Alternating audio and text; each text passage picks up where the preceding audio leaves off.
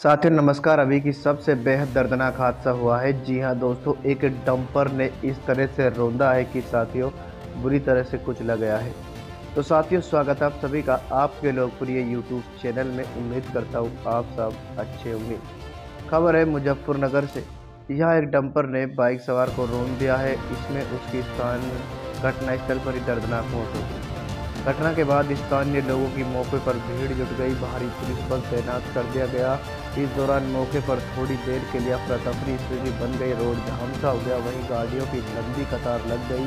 इधर लोगों ने घटना की सूचना सदर थाना सर सत्येंद्र कुमार मिश्रा को दिया। मुजफ्फर मुजफ्फर की बात करें दोस्तों, रफ्तार से कहर थमने का नाम नहीं ले रहा है। रविवार को अलग अलग स्थानों पर हुई दुर्घटना में दो लोगों की मौत। पहला मामला मनरिया थाना क्षेत्र का एक, जहाँ हाईवे पे व्यक्ति को ठोकर मार दिया।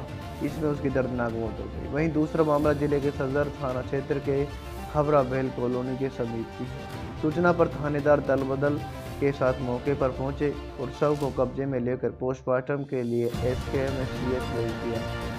मृतक की पहचान समस्तीपुर ज़िले के पूसा थाना क्षेत्र के दिगरा निवासी दिनेश कुमार के रूप में इधर मामले के मेज थानेदार ने बताया कि एक व्यक्ति की सड़क दुर्घटना में मौत हुई थी घटनास्थल की छानबीन की गई, शवों को पोस्टमार्टम के लिए एस के एम सी एच भेज दिया गया है।